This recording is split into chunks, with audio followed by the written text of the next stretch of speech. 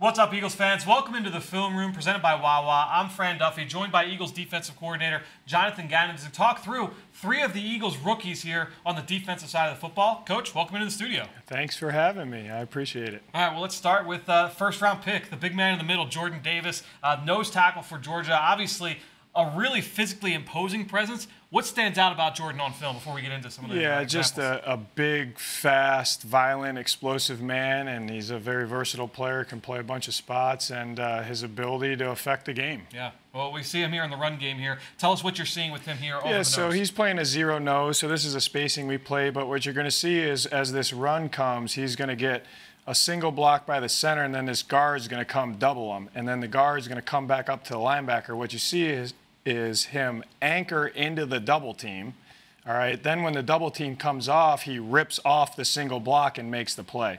So anytime you can do that with a nose tackle where he anchors versus the double, doesn't get moved, rips back in, and finishes on the ball, that's a win for the defense. Michigan was one of the most ferocious, tough, physical offensive lines in all of college football. That's what painted such a beautiful matchup here in the bowl game. But uh, clearly, Jordan, the rest of that front, they were up for that challenge and that showed up early yeah. on in that game. Yeah, Jordan gets he gets excited to play good offenses. All right, well, let's take a look at the next one because obviously everyone knows about Jordan Davis and his value against the run. But in the pass game, that's where we didn't always get a chance to see it. It showed up in flashes. Here, week one against Clemson, a great flash. Yeah, so this one, they're, uh, they got a little stunt going on or a little pressure going on. You see him on the move, and this is what when we saw on tape when we looked at him is, is his ability to move laterally and vertically in a in a quick second. So this was very impressive by the stunt that they're running. He's up and in, and then he turns the corner and ends up coming back to sack the quarterback. And that's where the, the combine workout does kind of show up, right? That initial quickness, that suddenness off the ball. Yeah, his pro day workout when I went down there, it was when they were doing the drills and things like that. I mean, this guy moves like a 300 pounder. You wouldn't think that he's 340 pounds. So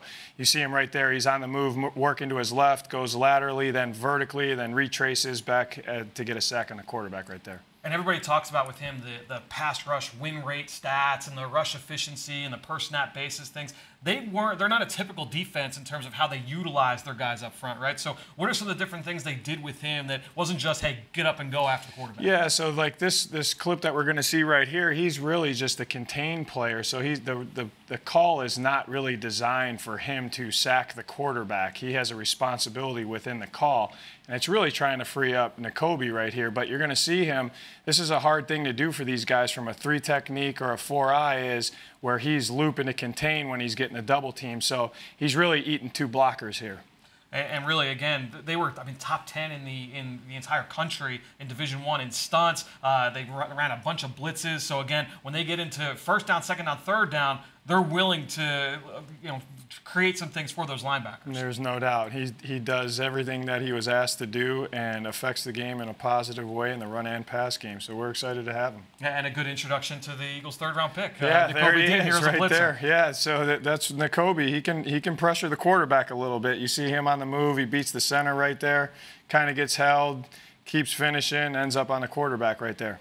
How hard is that to be able to teach guys? Do you feel like uh, bl- you know, blitzing ability is that something that can be taught, or guys have a knack? for It is. There's a little bit of a knack to it, and then he can improve his game when he gets here. We'll give him some tools that'll help him, but there's definitely a knack, and he has it. And what is so impressive about him in the pass game is, yeah, great blitzer. He had a bunch of sacks last year, but in coverage, he was able to be moved around. He had a pick six against Florida where he read the route on the hitch, right? Here you see him in the bowl game, uh, flexed out as well. Yeah, they play in a very multiple system, and that was one of the things that appealed to us about Nakobe is he ran the whole show. So here they're in a man concept, and he's got the back man to man. You're going to see this guy jet all the way across the field. They're going to give him a swing pass. Nakobe really covers about 40 yards, makes the tackle behind the line of scrimmage. This is a fantastic play. And really what you're seeing here is his range and processor. He knows what's going on.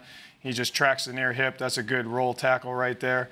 A little pretty good celebration. We might have to work on that, Eagles fans. Uh, to me, like the, the other big thing is the, the angle, right? And that's that's not easy either, right? Yeah, he has a very he's a very intelligent player, has a high football IQ, and knows where he has to get to, and he gets there in a hurry. Well, let's get to uh, uh, one more play here with Nakobe again, uh, where you see him just being able to, to process things quickly. The entire defense going one way, and he's able to uh, sniff the things yeah, out the I'm sure way. his coaches had him coached up for this play. This is going to be some type of action and a screen, but his responsibility is the back. So Mm-hmm. a lot of times they, they window dress this to get his eyes off the back and then get a mismatch with blockers in front of the screen pass. So you see him immediately get on his progression. He splits two blockers and makes the play.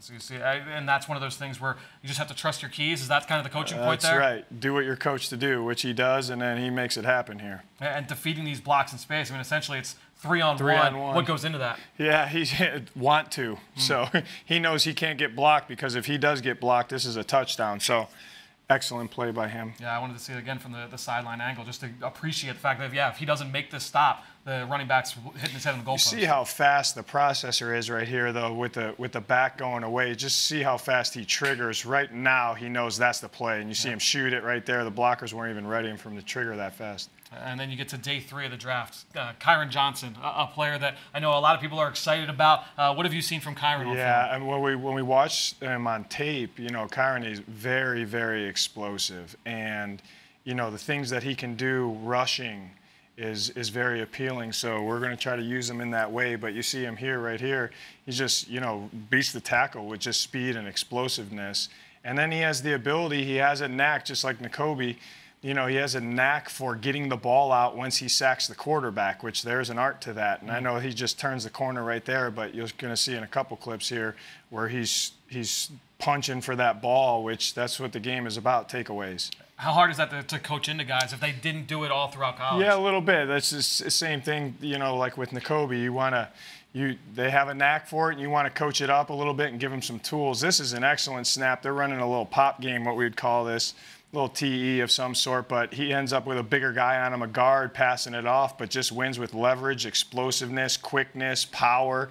And then he ends up turning the corner. You see him turn the corner right there, bending the corner right there. A lot of guys, it takes them a long time to turn their hips and, and run that hoop and uh, he can do that in a flash. So really excited about what he can bring to the defense. Yeah, he's got a couple different turns there where he's like a, a high-speed race car, just kind of turning the corner. That's right. I mean, Haason Reddick, Patrick Johnson, Kyron Johnson, all these guys, similar kind of body type, similar kind of skill set. That's right. I mean, this you know there is he's as as uh, flexible and agile as they come. So we're excited about add him. Yeah, you got to be excited about getting on the field with all these young That's guys. What's it like uh, the rest right. of the summer, getting ready for uh, training camp? Yeah, we're just finishing out these next couple weeks with practice and OTAs, and then uh, they got a couple weeks off, and we'll be back at it for training camp, ready to go to work. guys? We're excited to see these guys in Eagles green all through the summer and through the fall. Coach Jonathan Gannon, thanks so much for joining us here Thank on the film room presented by Wawa.